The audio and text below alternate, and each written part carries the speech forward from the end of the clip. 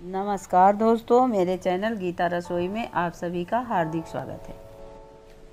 दोस्तों, आज मैं बनाने जा रही हूँ चना का साग जो कि अपने खेतों से तोड़कर लाई। हूँ सबसे पहले इस चने के साग को हम हंसिए से काट लेंगे।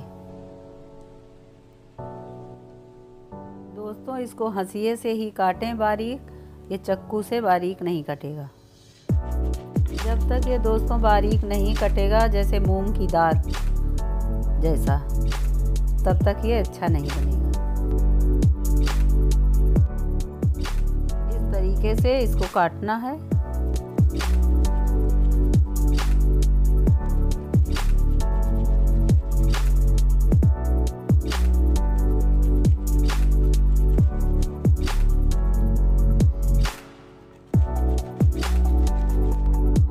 देखिए मैंने साग को बारीकी से काट लिया है।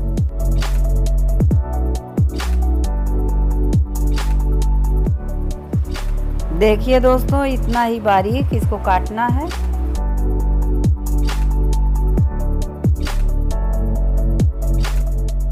अब दोस्तों, एक बर्तन में दो गिलास पानी डालेंगे।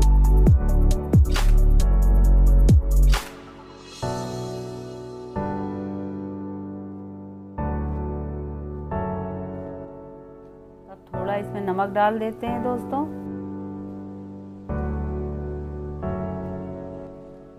अब इसको खोलने देते हैं।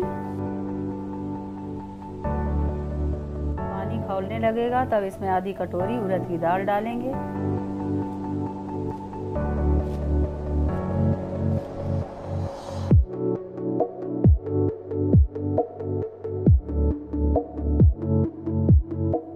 दाल को थोड़ा पकने देते हैं।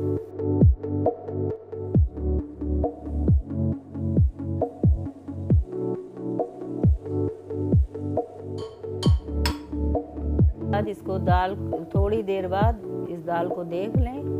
ये दाल आधी पकी होनी चाहिए। अब हम अपना धुला हुआ चना का साग इसी में डाल देंगे।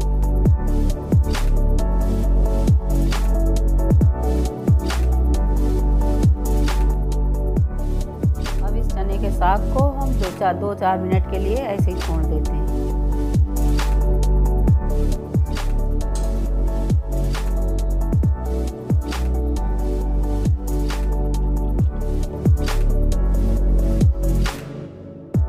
जब तक हमारा साग पक रहा है, तब तक आधी कटोरी बेसन लेकर के इसको घोल करके उसमें चने के साग में डालेंगे।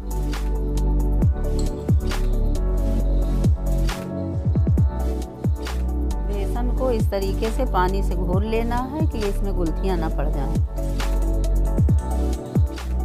अब हमारा बेसन का घोल तैयार है अब इस घोल को साग में डाल देते हैं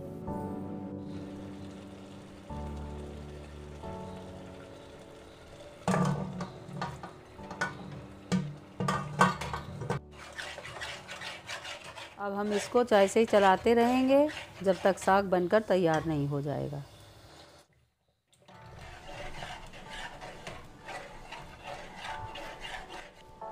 ये साग हमारा बनकर तैयार हो गया है।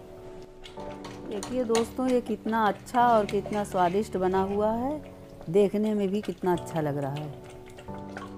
आइए अब ये साग को फ्राई करते हैं। साग को फ्राई करने के लिए हम थोड़ी सी हींग लेते हैं। और थोड़ा कटा हुआ टमाटर, प्याज, लहसुन, मिर्ची, अदरक। कढ़ाई में थोड़ा तेल डालेंगे। लहसुन डालेंगे।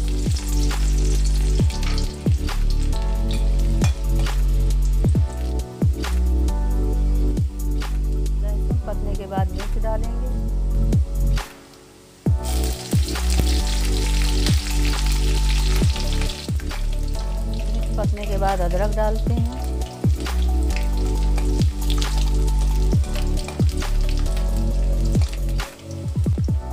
और थोड़ी सी हींग डाल लेते हैं। प्याज, टमाटर डालकर इसको पका लेंगे।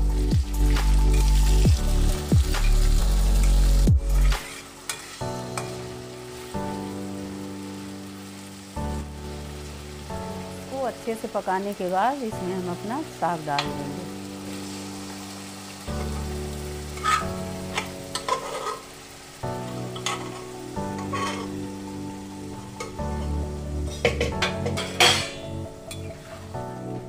और इसको अच्छे से मिक्स कर लेंगे। दोस्तों, हमारा टेस्टी चने का साग तैयार हो गया है।